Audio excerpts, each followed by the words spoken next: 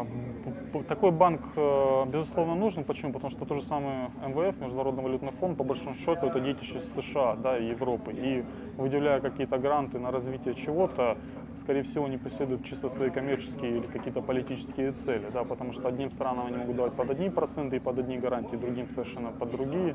Вот. И, безусловно, что страны БРИКС э, должны создать, ну, как союзники, как мне кажется, да, или как, по крайней мере, это так проецируется, что они должны создать свой некий банк, резервный фонд, который бы мог также выделять кредиты каким-то странам, которым они нужны, да, под свои какие-то интересы. Да, потому что, ну, например, мне очень нравится книга, не помню, Джейсон Брайтон, «Исповедь экономического убийцы». Он как раз работал э, одним из консультантов таких фондов, и он четко там рассказывал, что благодаря таким фондам Америка и ее партнеры просто экономически убивают э, другие страны, либо добиваются то, что эти страны начинают ну, работать или плясать под их дудку. Я думаю, что такой же инструмент давления, в принципе, нам тоже нужен.